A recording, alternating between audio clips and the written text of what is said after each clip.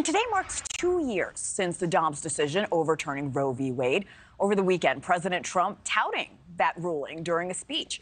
Democrats are pouncing on the opportunity to bring the fight over reproductive rights back into the spotlight as we look to the November election.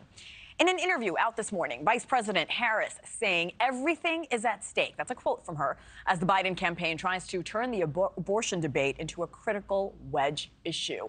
News Nation's Alina Shirazi is on Capitol Hill this morning. Good morning. So, what do the polls say about this issue? Where do Americans stand on abortion two years later from the decision?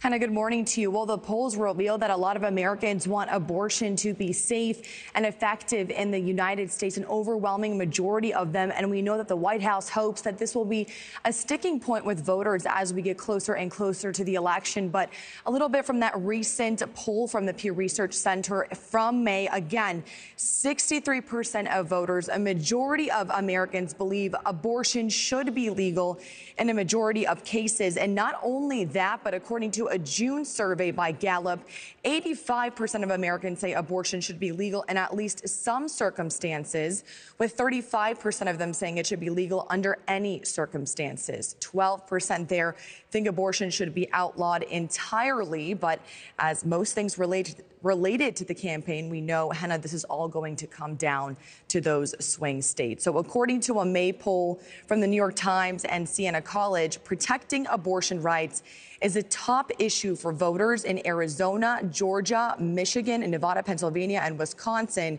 11% of the people polled in those states believe it is the most important issue. And to put that into perspective, that's about the same percentage of people who also see immigration as a top issue. So you can kind of see where the numbers there lie on what voters believe, Hannah. And Alina, that's a large number. How does that compare to what we're hearing from candidates who are on the campaign trail?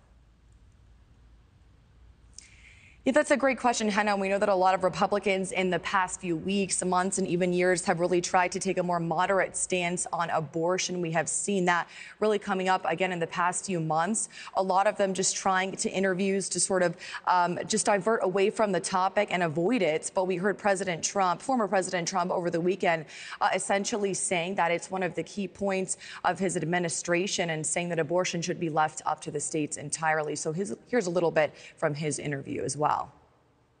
And we did something that was amazing. The big problem was it was caught up in the federal government, but the people will decide, and that's the way it should be. The people are now deciding, and some states are a little bit more conservative, and some states are much more liberal. And President Trump, they're also referring to those three Supreme Court justices who he appointed to help overturn Roe versus Wade in that Dobbs decision. But across the aisle, we know Democrats are really hoping to capitalize on this issue as they kick off their own campaign this week with events in Wisconsin and Virginia. We know that President Biden, as well as Vice President Kamala Harris, will both be there as well.